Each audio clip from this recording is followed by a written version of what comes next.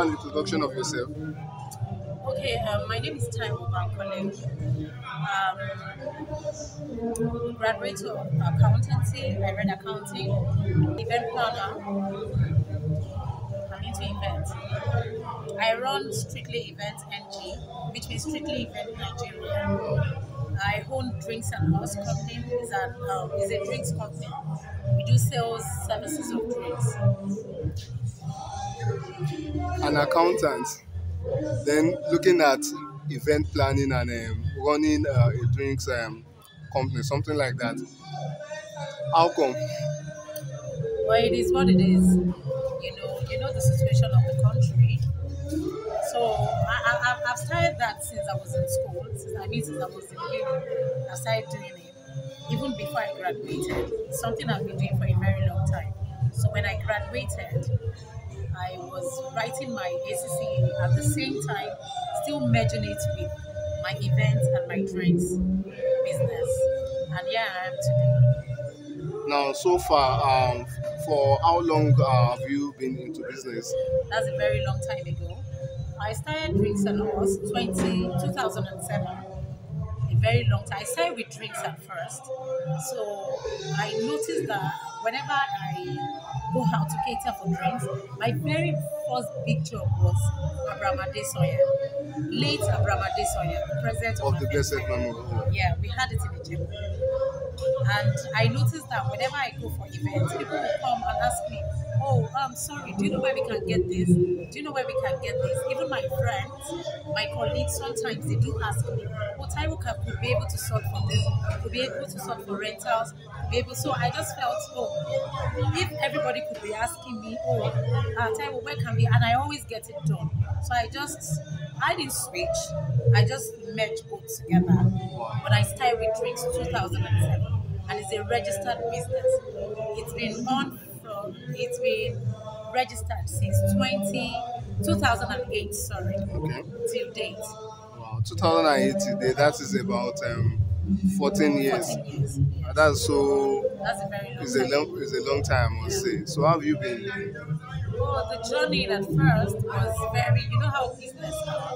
The journey at first, because I started when I was in uni, the journey at first wasn't that really smooth. Sometimes we go out, we go out to work. At the end of the day, when we are coming back, eh, you could be, to even count your gain, you'll be like, oh, well, you know, those are the price we've paid. But now, I mean, he's been it's been great. But at the beginning, it was a little bit rough. I wouldn't lie about that. But now, I could say yes, it's been very great. Now, about the Strictly Events brand, I want you to tell me more about what you offer.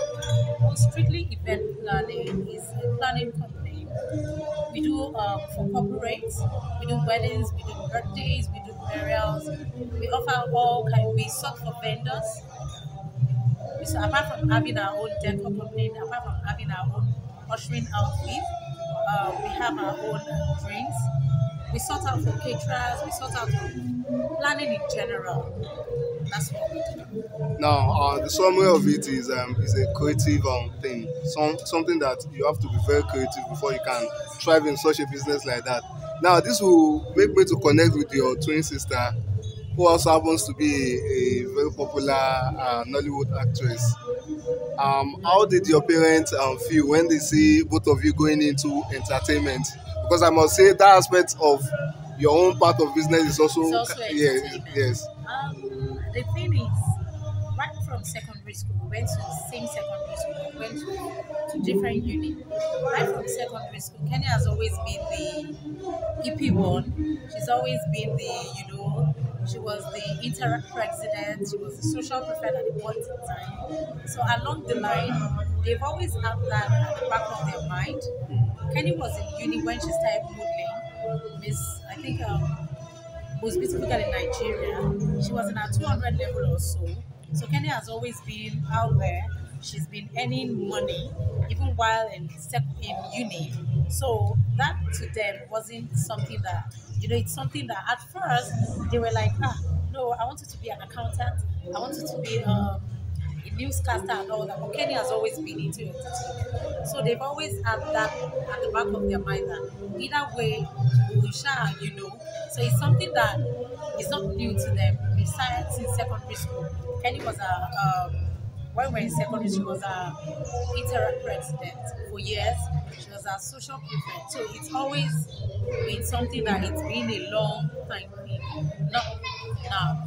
You've not said uh, anything about your own aspect. How did they receive it when you said you wanted to venture into events? Uh, when I and when I was doing it right from school, my my my mom my mom has always been my mom has always been somebody that likes uh, you going out of school. I mean not staying out of school in total, but she has always been she likes someone that is very productive. She likes you to be doing schooling at the same time, be merging it with something else. Because that was how she was brought up. So right from school, when I told my mom, ah, I'm going into, I want to start selling drinks. That was what I told her. She was like, ah, no, how can you be? I said, oh, not in that way. Because I know I couldn't merge it with school then. But I want to go into uh, catering of drinks. And she was like, oh, that would be a bad idea. Besides, I could remember then the very first big job I had was we had to leave for Ijebu very early. We had to leave for Ijebu very, very early. And we left Lagos for uh, from like uh, 4.30 a.m. I can remember then, my mom was the first person that woke me up as early as 4 o'clock, 4 a.m. That whole time when you are traveling to Ijebu, start having your bath, start, you know. So it's always been, she's always been supportive. She was, because she's late now. She has always been, you know, so it wasn't, so when I told them, they were like, oh, if that is, so far it's not going to stop your education. And they were okay with it. now something just crossed my mind. Looking at uh, the industry now, the event planning industry, we have more of um, females than the males. Yeah. What is responsible for this? Uh, maybe because I think it's um, it's a psychological thing. People tend to feel, oh, women are more organized. I would say that, and truly, we are organized. We are well organized. We know how, you know, even in homes, women come first because men is the head of the family, fine. But women, they are the ones that take care of the children. Why is it that most homes is the um, the mother's religion? Most children go after because women are always, you know, in front line when it comes to taking care of the home, doing all sorts and all that. You know, so it's always been like that. Now, looking at the, the nature of the, the, the job is um, always rigorous, I must say. Then I want to ask, how do you cope? It's, I would say it's very, very stressful. I'll give it to all event planners, all vendors, not only event planners, all vendors. We all work hand in hand. No matter how small the vendor is, a vendor is a vendor.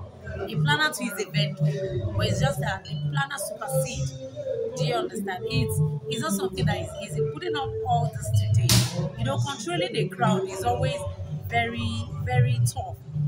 Tough in the sense that you can control children, you can't control adults. Because there are some things you tell them, they'll be like, ah, Shemi lo sọ̀rọ̀ síbẹ̀, you know, they take it very personal. So it's, it's more tough than controlling children. Children, you can tell them, oh yeah, jókòó síbẹ̀, you sit down there, and they will obey. But controlling an adult is not something that is very easy. So I would say planning is very tough. I know how many calls I made today. I know how many um, noise. I know how many quarrels and all that. Just to, at the end of the day, we'll still come together. Oh, sorry, we apologize to each other. It's just for the client to be happy at the end of everything. So it's always like that. Now, a very quick one. What does it take to be a very good event planner? It takes patience. It takes experience, patience, um, I would say patience because if you're not if you're not calm enough, there are some clients that are very tough. When I mean tough, they are very tough.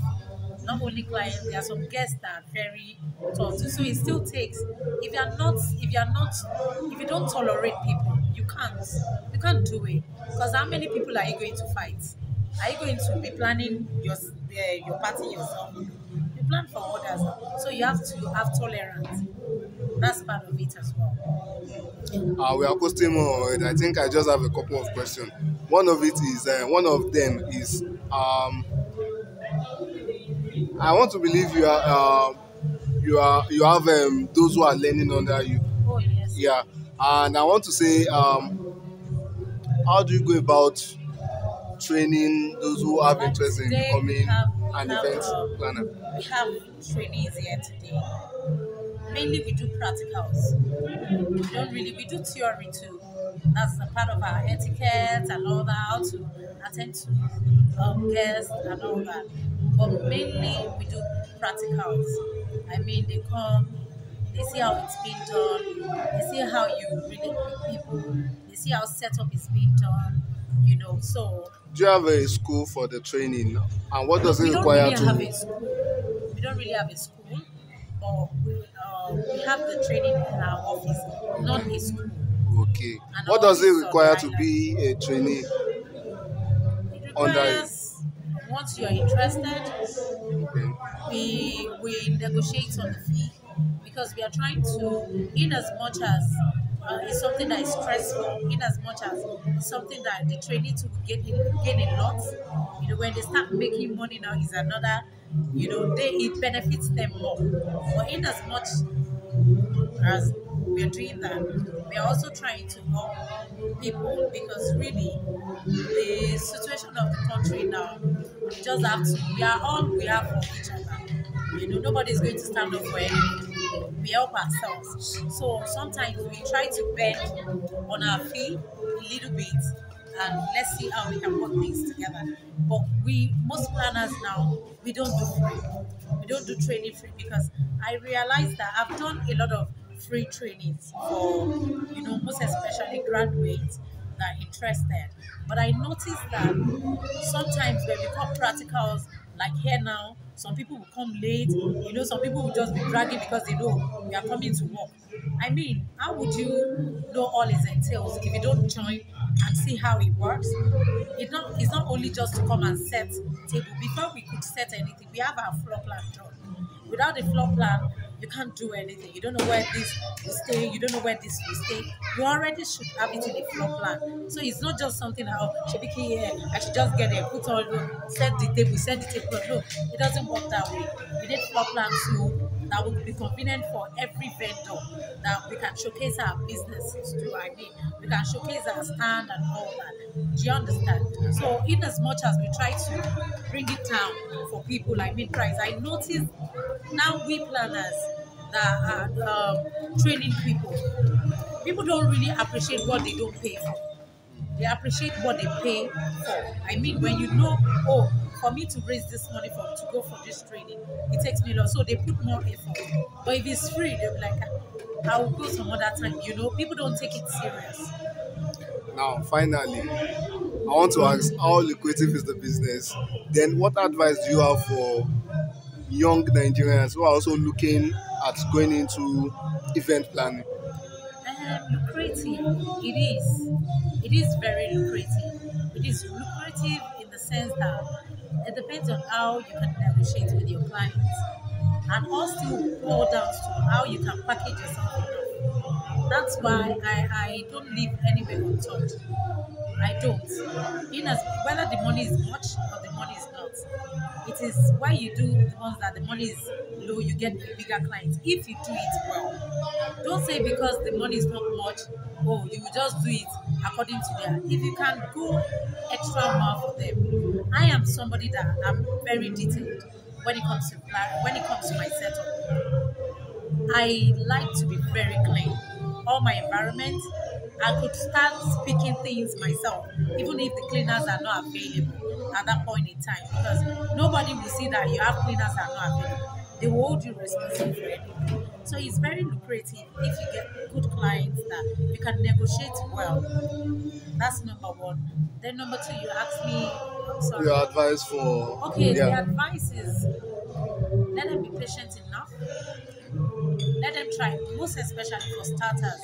We have done that in time past. We have we've, we've paid our bills. I mean, we've done our own. So most especially, I see some upcoming and they be like, ah, if they can't pay me so so so amount, I can't do it, so I can't. You can. How do you? How would people know you if you don't work for someone? Don't say because of the money. Yeah, I know you won't go all out, but if you feel you can manage manage whatever fee, just to showcase yourself, to I mean to create awareness people that oh you too. I've done a job that at the end of the day, I'm talking about 14, 15 years ago. I've done a job that at the end of the day, by the time I got home, I couldn't, I myself, I couldn't boast of 5,000 naira. It was that bad. I did the job at Kara. That was a very long time ago. But those are the prices we to be paid.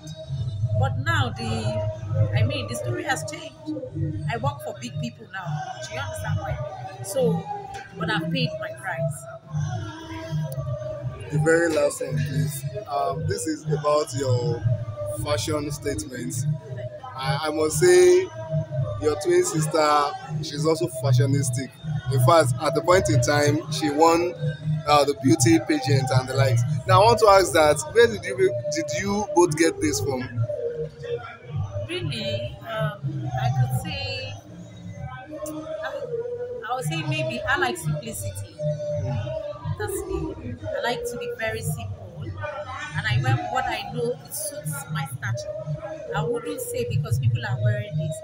I might see people doing it and it might not suit me.